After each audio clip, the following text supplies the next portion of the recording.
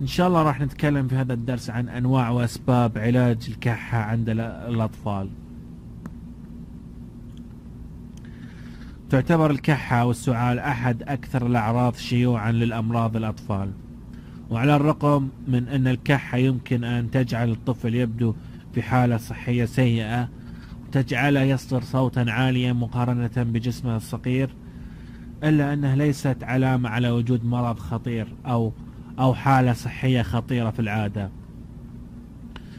في الحقيقة الأمر تعتبر الكحة ردة فعل صحية وهامة وتساعد على حماية المجاري الهوائية في الحلق والصدر.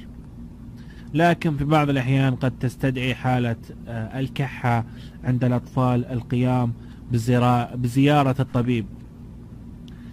أن معرف أن معرفة ما هي الأسباب الشائعة للكحة عند الأطفال أو أنواعها أو طرق علاج آه، الكحة عند الأطفال الممكن آه، تجربتها في المنزل قد يساعدك في معرفة كيفية العناية بها. أيضا والتعامل معها وعلاجها ومساعدة طفلك على تحملها. وأيضا معرفة متى ينبغي الذهاب إلى الطبيب من أجل تلقي علاج الكحة عند الأطفال. إلى هنا انتهى الدرس. كان معكم الباحث خالد بن سعود الحليبي وإن شاء الله نشوفكم في درس قادم.